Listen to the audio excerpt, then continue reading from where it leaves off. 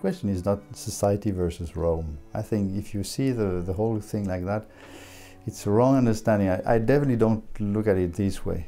Since Paul VI, so it's not new, say, I mean, we may say since the council, you have this apprehension that there is something wrong in the church.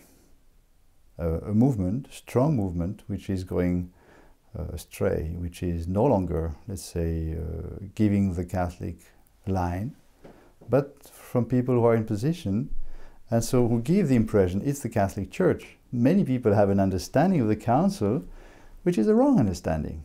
And now we have authorities in Rome who say it. We, I may say, in the discussions, I think uh, we see that many things which would have, we would have condemned as being from the Council are in fact not from the Council, but the common understanding of it.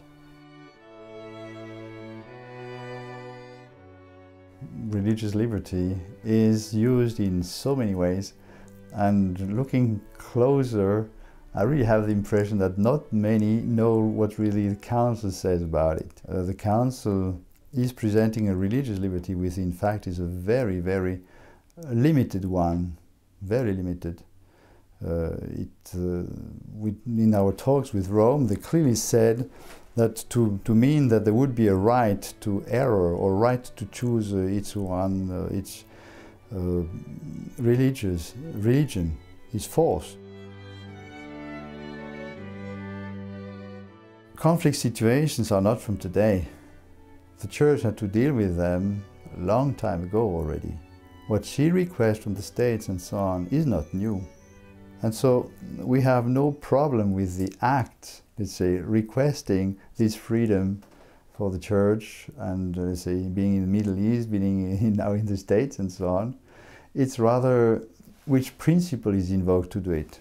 We would argue that there might be another principle which will be more accurate to, to justify the action, which was called before tolerance.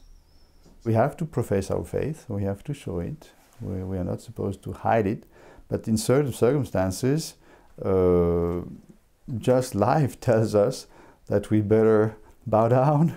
If there's a time of persecution, for example, nobody is obliged to provoke the, the opponent or the persecutor. Just in itself, the best situation is when you have a whole society which is going the same way. It also helps to unity, to peace, to everything.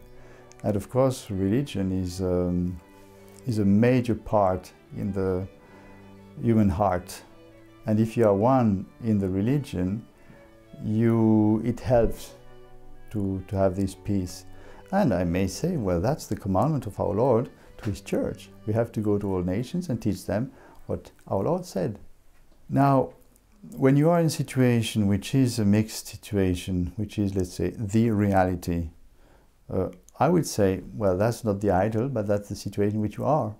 And that's, let's say, where you have to uh, do your uh, job, your duty as a Christian.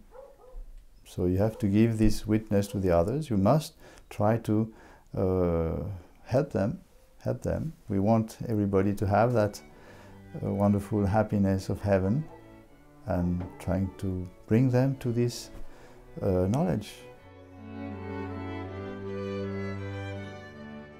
If you, you think of what happened to them during uh, World War II, they do consider, let's say, the, the Christian position towards them as the cause of what happened to them, which we claim that's wrong. It's not true. Hitler was he might, might have been baptized, but his behavior absolutely anti-Catholic. It was not the Catholic behavior which he followed by doing what he did.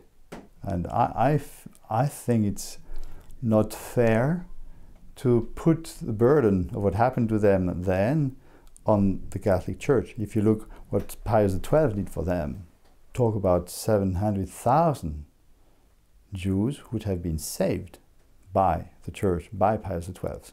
But when you see all the comments on the Jewish side about Catholicism, you see this antagonism, which is, does not come first from the Catholics.